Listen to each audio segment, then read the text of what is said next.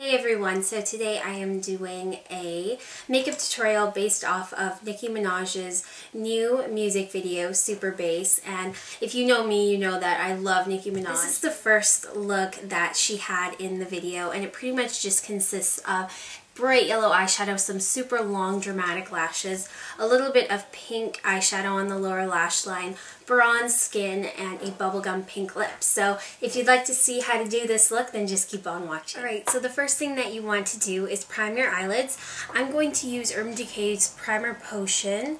And I'm also going to apply a little bit to my lower lash line just because some color will be applied there. So I'm just going to go ahead and blend this out. So in Nicki's look, she had a bright yellow eyeshadow on her lid. So I'm going to go ahead and take Chrome Yellow by MAC. And this is a matte yellow. And you want something matte or just with a little bit of a sheen to it. So I'm going to go ahead and apply that using a 239 flat stiff brush. You want to pack that on the brush and then tap off the excess just because this color does have a little bit of fallout.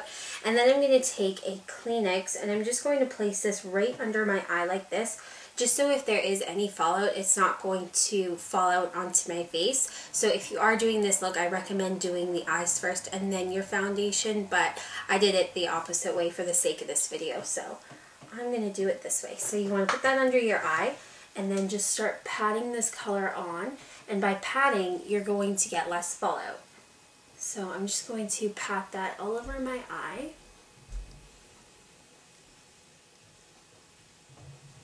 Going to create the shape that we want. So you want to follow the natural shape of your eye, go right above the crease and just create an oval shape.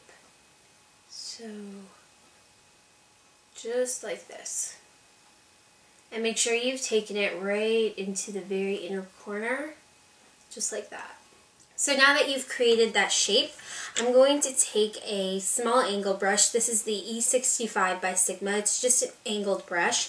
And I'm going to go into a light pink color. This is Da Bling by MAC. So you just want to pack that on the brush. And we're just going to line our lower lash line with this. And this color is actually very similar to what Nicki had. So Da Bling is a great option. Now to make our eyelashes look thicker and more full, I'm going to take my Bobbi Brown Longwear Gel Eyeliner in black ink and I'm going to take a pencil liner and just dip it in there. So just like this.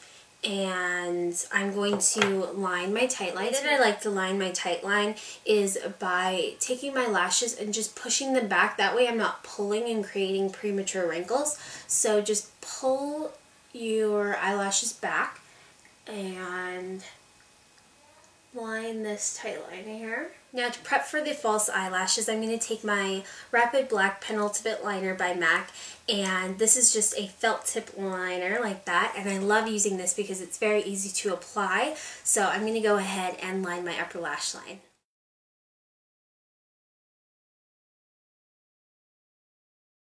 Now for the fun part, which is our lashes. I'm going to take my Nonpareil 09 lashes, and they look like this. They're very long and full, and I really like them. And these are very easy to apply just because the band on them is very thin. So I'm going to have a link below where you can check these out if you're interested. So I'm going to take this and apply these using my Duo Eyelash Adhesive, and then I'll be right back. Now that these lashes are applied, I'm going to take a little bit of mascara and work that at the base of these lashes just so it can help blend my natural lashes in.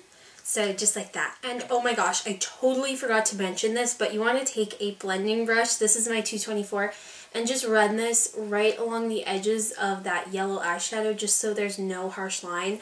And yeah, so now that's all for the eyes. So Nicki didn't really have a lot on her cheeks. She just had a little bit of bronzer on. So I'm going to take my NARS Laguna bronzer on a 109 brush just get a little bit of that. And I already have a little bit on, but you want to start at the apples of your cheeks and blend it back towards the temples. So, just like that.